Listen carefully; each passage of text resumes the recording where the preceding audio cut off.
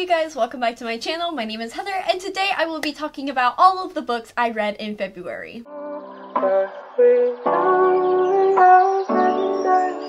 February was a fantastic reading month for me, I feel like. I don't think I read an abnormally large amount of books, but considering how February went last year, I had a great reading month and I read a ton of five stars, definitely a disproportionate amount than I usually read. So that is very, very exciting. I have a lot of books to push on to you guys and I'm so excited to do that. So the first book that I read in the month of February was Children of Blood and Bone by Tomi Adeyemi. I have been needing to read this book for so, so long and I finally got to it during February because I had an extra push to read this, to pick this up, not only because it was Black History Month, but I actually got to meet Tomi at the Adalyn Grace signing, who is the debut author of All the Stars and Teeth. If you haven't checked out that vlog where I include that signing, definitely go check it out. It was probably one of my favorite signings I've ever been to because the two authors just had so much chemistry together and it was so funny and fun. It was a great time. So definitely go check out that vlog if you're interested in book signings. But I absolutely loved loved this book. I gave it a 4.5 out of 5 stars.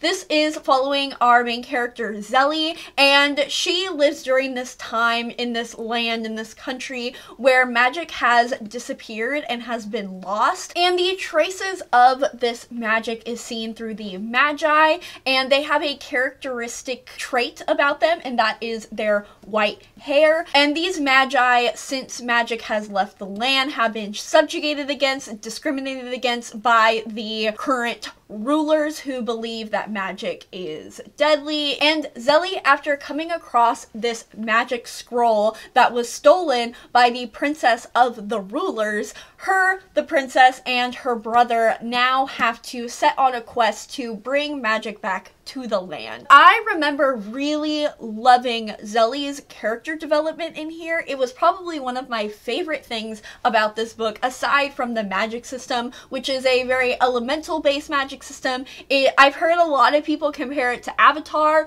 which I guess you could call that because elemental in Avatar, but it's a lot more involved with gods and deities, which I probably would have picked this up way sooner if I knew that gods were involved because each of the Maji clan is ruled by their own deity and they call upon that deity every single time they need to use their magic, which I had such a fun time learning about. And overall, I feel like the plot of this book was also very well done. It is very formulaic, if you would say, but it's very structured in that it's definitely a adventure story and it's just overall a very, very entertaining read. And although I didn't like three out of four of the characters, Zélie really made the book so worth it and such an engaging experience for me. Just seeing her growth, ugh, she is so strong and resilient and I just want to give her a hug because I love her so much. I really thought Amari's chapters were super boring. I know a lot of people don't really like Inan. I'm kind of indifferent towards him. I thought his journey was interesting whether I liked him as a character or not, but definitely not the greatest cast of characters for me personally, but again, the world, the magic system, Zélie, our main character, it was all so interesting and fun and entertaining and I really really enjoyed my reading experience for this book. So I am very very excited to pick up the sequel especially knowing the cliffhanger that this ends on. I cannot believe you guys had to wait a whole year for the sequel because wow this ended on an incredible cliffhanger. I am very excited to pick up the sequel soon and hopefully I will do so and I won't lag and wait months and months and months before picking up the second book because I I usually do that. But regardless, I really enjoyed this one. Definitely recommend if you want a really cool world, magic system, all that jazz. I really, really enjoyed it. The next books that I finished in the month of February, I'm not going to talk about too much because I have a whole dedicated video to them. I reread The Infernal Devices by Cassandra Clare, which is Clockwork Angel, Clockwork Prince, and Clockwork Princess. This series was probably my absolute favorite growing up as a teenager. This trilogy means a whole lot to me just from the nostalgia and just the sheer emotions that it made me feel while reading this. I had such an amazing time rereading these for the first time, and in fact, you can watch me reread these for the first time in my previous video where I did a vlog style rereading the Infernal Devices for the first time. So go check that out. It does have spoilers, so if you haven't read the series and you don't want to be spoiled for it, I love these books. I gave all of them five stars, although the middle book definitely has middle book syndrome and it was quite boring. The characters in here are top notch. They are really god tier. Regardless of the plot, I think nobody can argue that the character work that Cassandra Clare did in this trilogy was impeccable. It really makes you care so much for these characters in a way that few other book series have made me care do whatever English is, and I enjoyed this so much, and I'm honestly kicking myself for not rereading it sooner. Herongraystairs is canon, no arguments valid against that. The next book that I read in the month of February was Aquicorn Cove by Katie O'Neill. Katie O'Neill is the author of the Tea Dragon Society, which I love so, so much, and I have set it on my mission to read all of her books, and I believe this is the last one that I had to read, if not one of the last ones. This is about ocean conservation. It is about our main character who travels back to her mother's home island, and this island has a lot of storms come through, so they're constantly needing to rebuild. And it's just a discussion over again, like I said, ocean conservation, using what you need rather than excess and all of those things. It was beautiful. It has a female-female romance in here, which I believe all of Katie O'Neill's books have had thus far, which is fantastic. It was so cute. The art style was beautiful. I gave it 4 out of 5 stars. Definitely recommend for you or maybe a younger child in your life. It was just a really cute, fun time and I loved it. The next book I read was Penric's Demon by Louise McMaster Bujold. I definitely didn't say that right, no.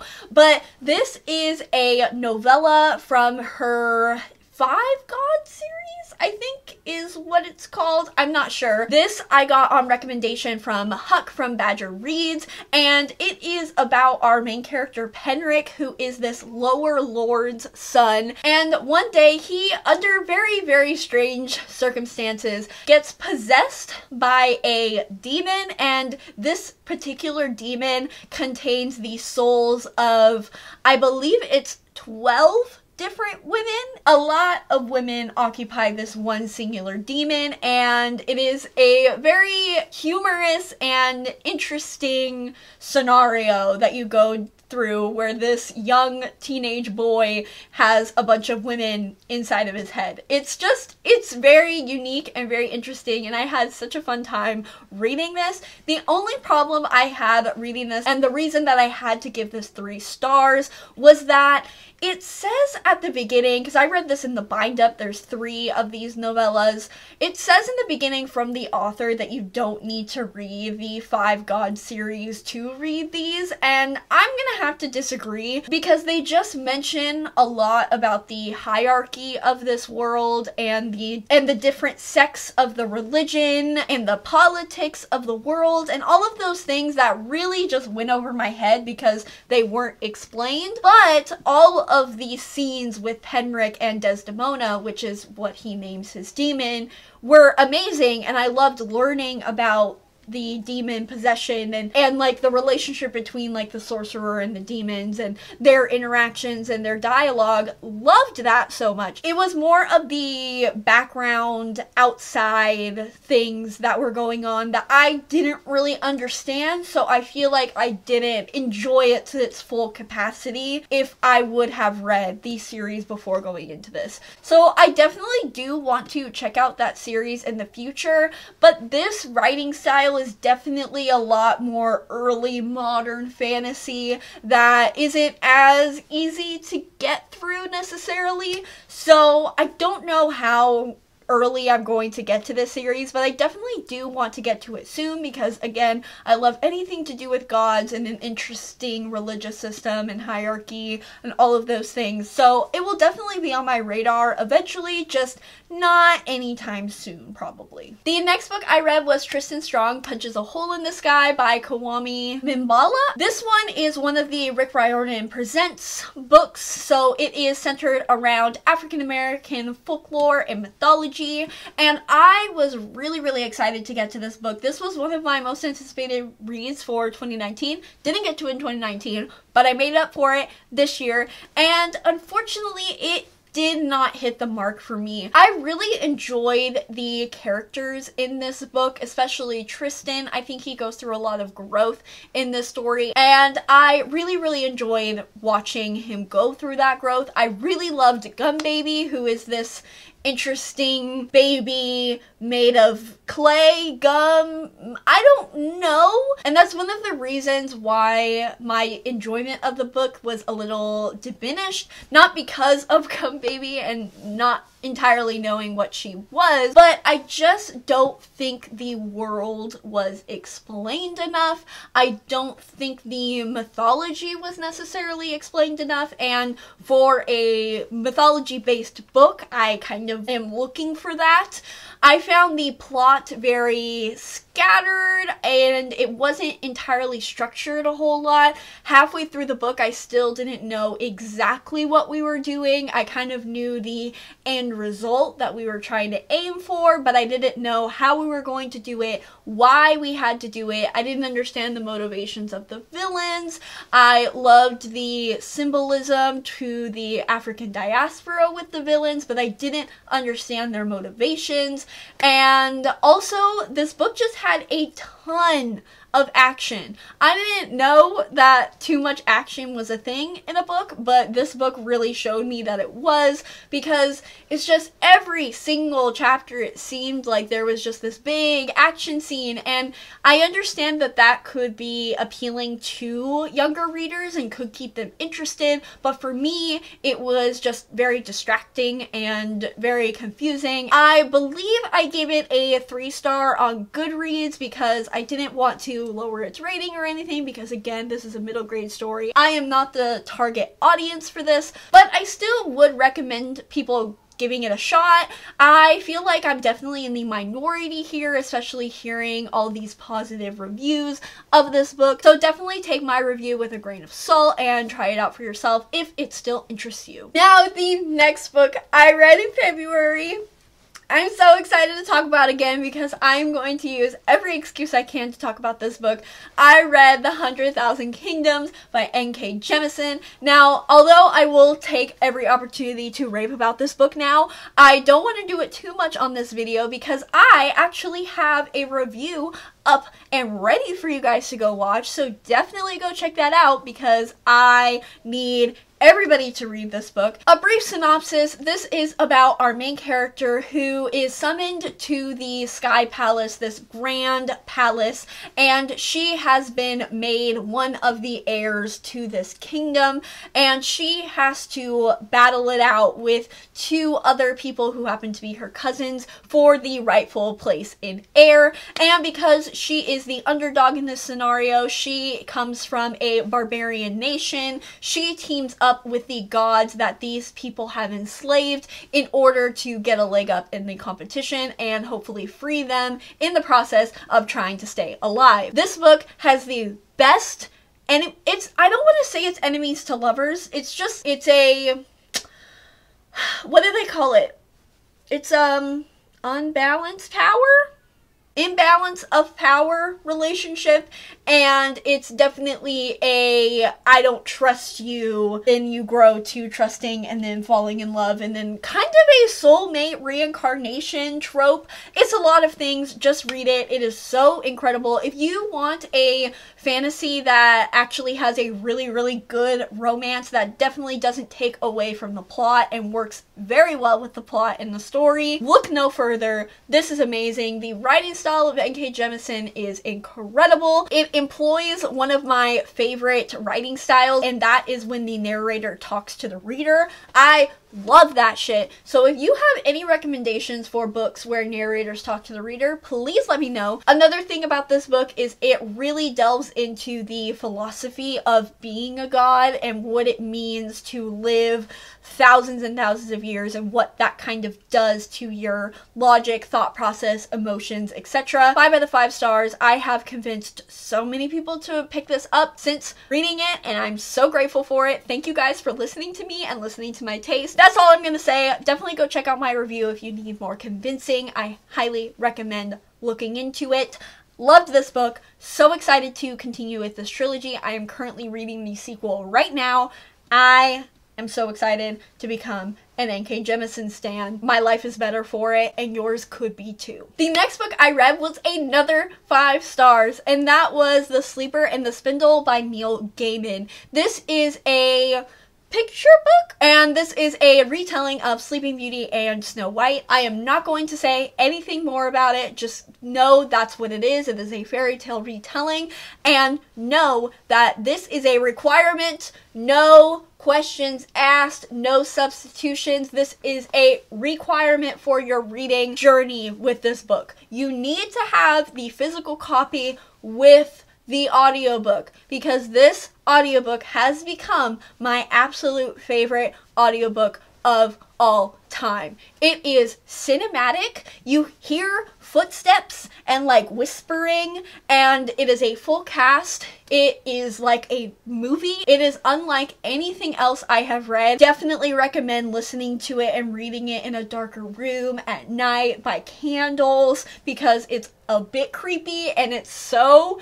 good. It's Neil Gaiman is just the master at twisted fairy tales and he takes these fairy tales and just turns them on their heads and it's so good. He is a master. He truly is. Definitely pick this up. It was so amazing. It was a really quick read. Again, it's just a little 50 pages, I think. It's a picture book. The art is incredible, so beautiful. I want like two copies, one for my shelves and then one to just cut up and frame on my walls because it was that beautiful. Loved it so, so much. Highly cannot recommend enough. Definitely go read it. Go listen to it. You gotta do both. Again, it's a requirement not a suggestion. The next book I read was The Guinevere's Deception by Kiersten White, and this is an Arthurian legend retelling following Guinevere, but she's not necessarily what you expect. She actually happens to be a copy of the real Guinevere, and she is the daughter of Merlin, set out to Camelot in order to protect Arthur and save Camelot from this formidable evil that is going to grace the land. I hated this book. Okay, hate is a strong word, but I did not enjoy my reading experience for this whatsoever. It is just so boring. The writing style is beautiful. It is very atmospheric and Kiersten White just does a very great job at forming words together and making sentences, you know, as writers do. I really did enjoy the way in which she said things and described things.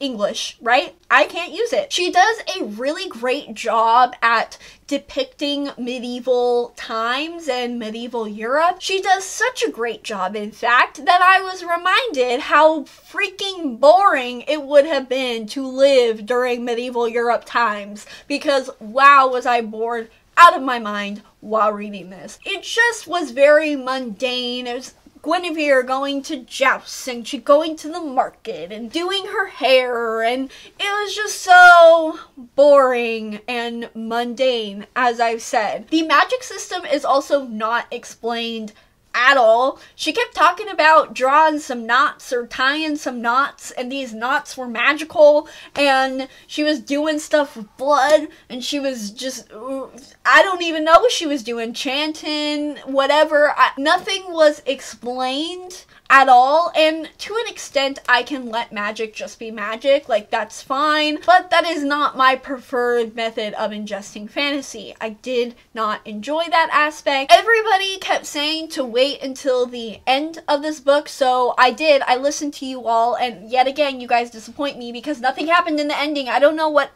I don't know what I was supposed to be waiting for. Maybe it's just because I literally didn't care whatsoever. But one of the plot twists I knew because I watched the BBC Merlin show, so I already knew about that. I, I was like listening to the audiobook and then it ended, and I was like, wait, what was what was I waiting for? Because now it's gone, and I don't know what I was supposed to be surprised about or what was supposed to make me like this book. So, suffice to say, did not enjoy this book at all. I gave it 2 out of 5 stars. The only thing that I really enjoyed about this book, aside from the writing style, was Lancelot. Lancelot is gender bent, she is a woman, and so her and Guinevere have some chemistry together because Guinevere and Lancelot, you know, they have that affair going on. I assume that they are going to be endgame, so that means that this series is going to end with a female-female relationship, which I love and support, but so far, all of the female-female romances that I have read have been boring as hell. Like, lesbians, come on, let's get exciting, let's get angsty, let's get danger and death and fighting. I don't know, I am just so tired of the mushy gushy female female romances. Give me sex, give me power, give me anything but boring, bland, eh.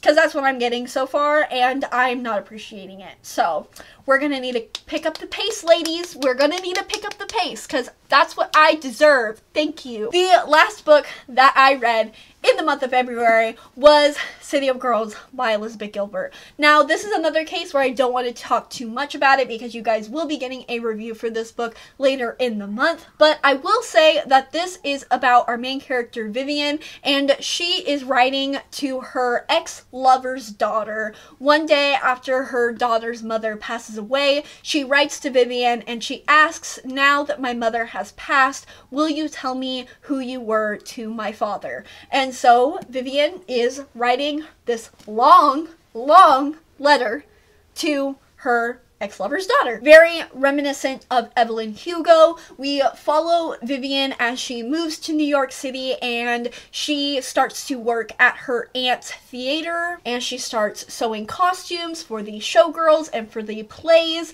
and this was so incredible. I had such a fun time with this book. I heard so many negative reviews or negative things about this book before picking it up, and it really just lowered my motivation to read it. But I finally got the audiobook, which is a fantastic audiobook, by the way. Definitely recommend. Listen to it while reading at the same time, and it was so engrossing and immersive. I finished this in like one day. I could not put it down. It was so entertaining. If you loved Evelyn Hugo, there is no reason why you wouldn't love this because it is kind of the exact same format where it's an older woman telling her story. And I said this in my vlog, it is exactly like Evelyn Hugo without the weird racial commentary that Evelyn Hugo has. And rather than racial commentary, it is talking about the sexual freedom and liberties of women. that speaks to me and my soul on a whole different level than I could have uh, ever imagined. It was so funny and realistic and enlightening and empowering. You meet so many women in here, and I wanted to be every single one of them. Even the ones that weren't necessarily great people, I wanted to be them because they were so glamorous and confident and sure of themselves without having any idea what they wanted to do in life. And I was so inspired by every character in here. The only negative thing about this book, and I will definitely preface this, is it's definitely not intersectional feminism in any capacity. I wouldn't call this a feminism novel. I mean, it is to an extent, right? It's talking about a woman in the 1940s and how she just wanted to sleep around and that's what made her happy and that is valid and that is how she wanted to live her life and that's how she did live her life. So, of course, it is feminist to an extent, but there isn't any people of color in this book. There isn't any queer discussions in this book, which is just doesn't really make sense for a book centered around promiscuity and sexuality and how our main character does have interactions with women but she never questions her own sexuality. There is another character in here who is a lesbian. However she had a husband prior and was attracted to her husband prior so i don't know what's going on there. So there's definitely faults in this book where it doesn't have the discussions that probably were needed needed. But what it does do is it really does show the unique experience that Vivian had that does not match the typical stereotypical life of a white woman in America during the 40s to the 60s. I loved it for what it was, and that is just this old woman talking about how wild her 20s were and all of the mistakes she made and all of the things looking back on her life now, what she would change, if she would change, just seeing how she has grown as a person. I really loved this so, so much. Again, it is funny, it is realistic, it's unapologetic, and I enjoyed this immensely. Alright you guys, so that is the end of this video. Definitely let me know if you have read any of these books or what your favorite read of February was. If you want to check out any of these books for yourself, I will have my Amazon affiliate link down below. It doesn't cost you anything extra, it just helps me out and this channel. If you don't necessarily want to pick up any of these books for yourself, but you still want to support me, I have my Amazon wishlist, my Ko-fi, as well as my P.O. box down in the description below. So have a ball. I really appreciate it. But that is going to do it for this video. I hope you guys enjoyed and I hope you guys have a wonderful rest of your day.